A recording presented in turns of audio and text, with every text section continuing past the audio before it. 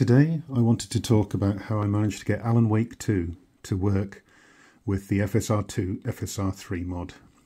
Um, I spent hours on this and it took me quite a while to track down exactly what the problem was. But I'll go, go through the steps that I've done to get this working. Firstly, you will need to be on the latest AMD drivers, not the latest Lenovo ones. This is because recently Epic released a new uh, patch to Alan Wake 2 and this doesn't seem to work with the Lenovo Legion AMD dri drivers. So before you even start, upgrade to the latest AMD drivers. I would also recommend getting uh, Alan Wake 2 running. Just check that it's running before you start installing the FSR2, FSR3 mod. The next step then is to download from LukeFZ's um, Discord, the relevant files. So the ones I've got here are version 0.7.3 and that's the latest as at uh, the 27th of December. So I believe it's FSR 2.2 that's implemented in Alan Wake 2. So if I go into this file and just select all the files here and copy them and then on my drive, I have Alan Wake 2 installed in the root of C. Uh, this may be different on your device. Uh, you'll have to look in your Epic Launcher, figure out where you installed it. But go into that directory and the, it should be the directory that has, I'm not seeing it marked here. Um, oh, there we are, right at the two, uh, right at the top. It's got the Alan Wake 2 application. So this is where we want to install, uh, to copy those files. So here I've right clicked on the desktop and I'm just going to use paste. And because I've already done this, um, it's saying the destination has five files with the same names. You won't have this. So I'll just click to replace the files. Now there's another step, um, and this stopped me for ages. Basically, the game would start, it would show all the partners that were involved in writing the game, and then it would just crash. And it turns out that um, this FSR2, FSR3 mod doesn't seem to like the Epic Games overlay.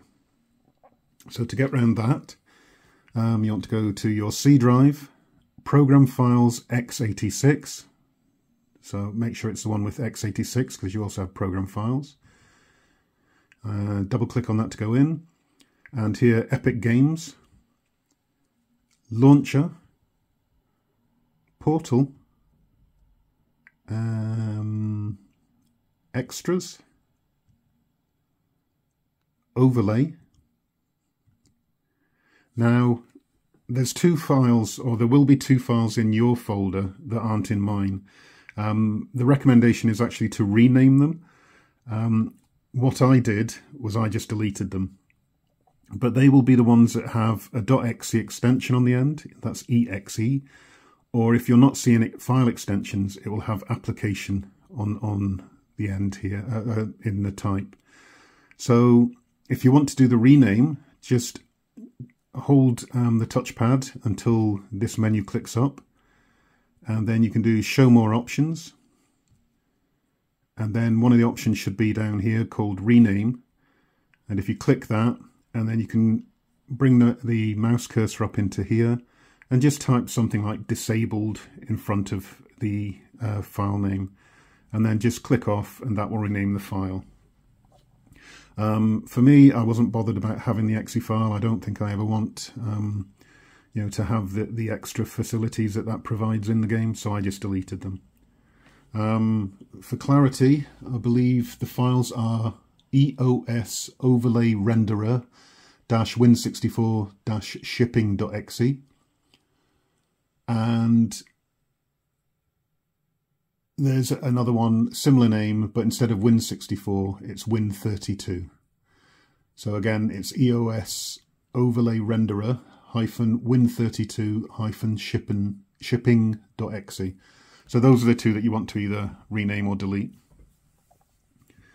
So if I now um, come back out of this and I shall start up Alan Wake.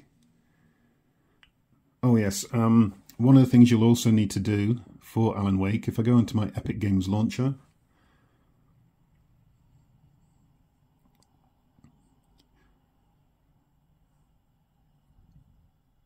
and if we go into my library,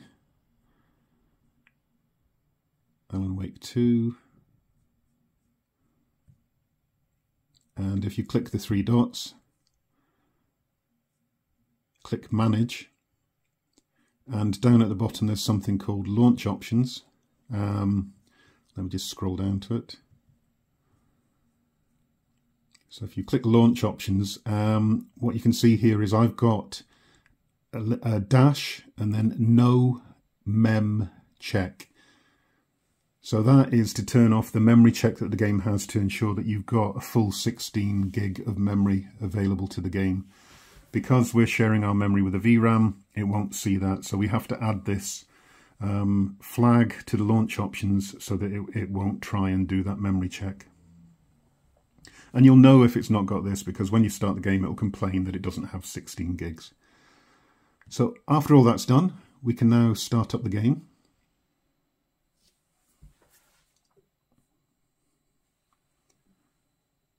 So here you can see this is extra window, an extra window comes up and it shows you that um, the mod is hooking itself into the game.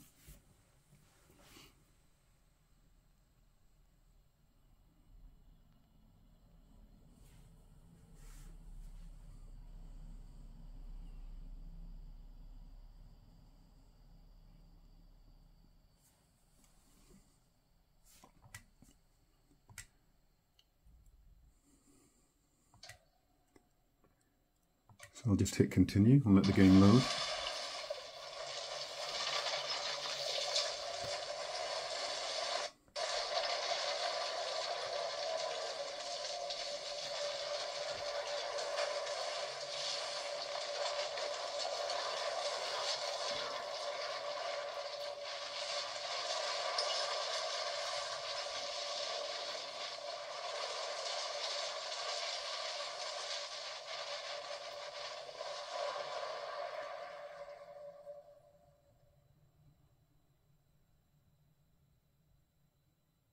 This goes on for a bit, it's just where I was in the game.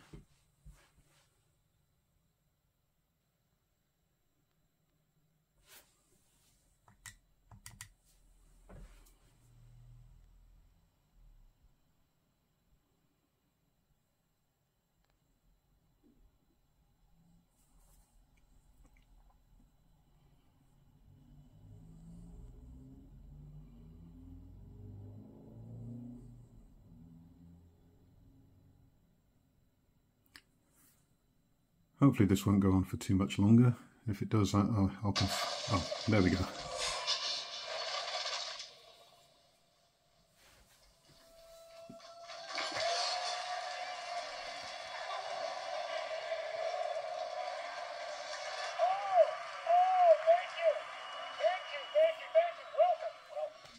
So what I'll do is I'll show you how you enable the add-on in the game there. Um, it's slightly different than some other games. So you'll notice in this, um, in graphics, rather than FSR2, we want to select DLSS. Um, this is hooking into the DLSS side of things, but it is using FSR3. And um, with this version of the mod, we can actually click FS, uh, the DLSS frame generation. So I do that. And um, I'll show you the rest of the settings while I'm, while I'm here. Uh, sorry, let me just... Okay, so as usual, motion blur, film grain turned off. And we're on low settings apart from a couple of mediums. I guess where there's no option to go to low, um, we pick a medium.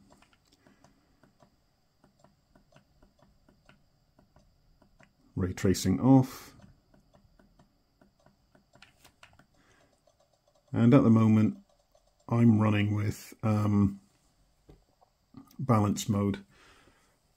Now what I should do as well is now the game's started I will start up my uh, overlay so we can see the frames per second. So if we just wait a second for that. So let's go back into the game.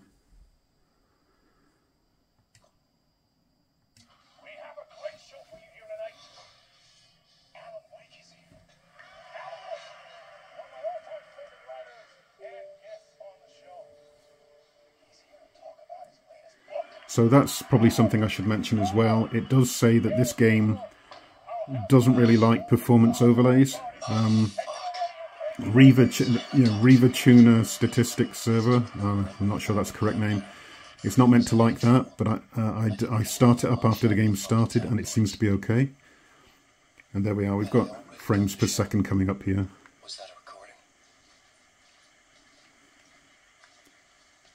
So if I swing the camera, I'm not sure it's it's probably a bit dark to see, but what I'm getting on the, the main character is there's a slight halo kind of ghost effect on him. But I mean, I, I've played this game with this add-on and you, you barely notice it. The game's so gripping um, and the things you're trying to do, it just sort of disappears.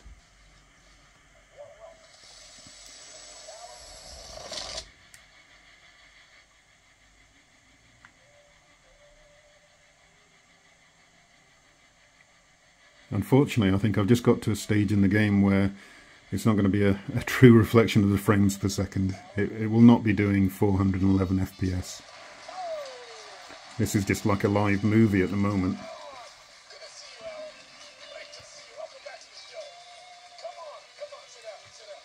So let's try and skip then.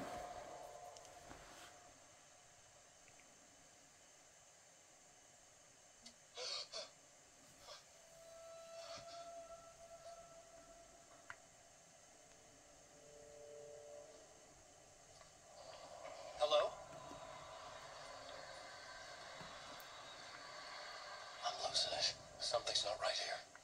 I needed to get home to Alice. Okay, so we're seeing, uh, you know, a very large frame rate. Um, this wasn't what I was seeing when I was in the wooded area um, as the FBI agent. Um, I think we're in a quite enclosed space, so this is looking um, you know, a bit generous in the uh, frames per second side of things. I don't know. Can you see? Can you see the halo effect if I spin spin it around? It's it's a lot. When I first installed the mod a couple of versions ago, it didn't seem. It was very noticeable, I should say. So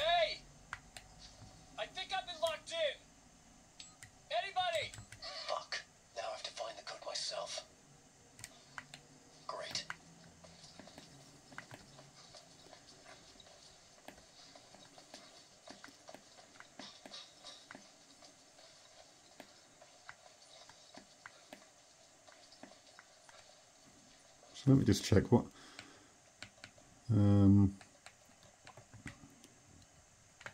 I'm sure I should be at 800. Yes, 1200 by 800. And maybe if it's getting as high a frame rate as that, maybe I could step up to quality.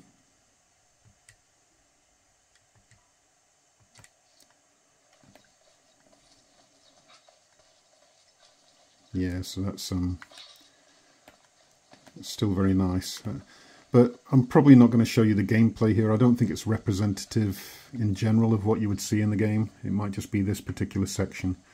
But um, it was more just to show you this is how to get Alan Wake 2 working with the FSR2 FSR3 mod by LukeFZ. Um, I will put a link in the description down below for where to um, get that mod. As I've said before, it is paywalled currently. Um, you will have to subscribe to his Patreon for around five US dollars or five euros, five pounds. I think it depends on your area, um, plus whatever sales tax for your regional area. Um, but if you want to get this mod and play with it, you will have to do that. Okay, so thank you for watching.